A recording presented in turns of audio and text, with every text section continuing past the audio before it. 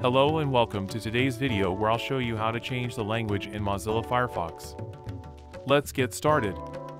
Once you're on Firefox, click on the application menu or the three dots in the upper right corner. From the drop-down menu, select Settings.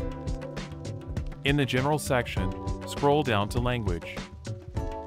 Click on the currently selected language. If your preferred language isn't listed, click on Search for more languages. Next, click on Select a language to add. A drop-down list will appear with all supported languages.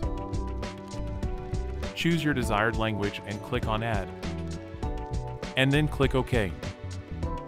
If you don't see the language you added, simply refresh the page. And that's it. You have successfully changed the language in Mozilla Firefox. Thank you for watching. Don't forget to like and subscribe for more informative videos.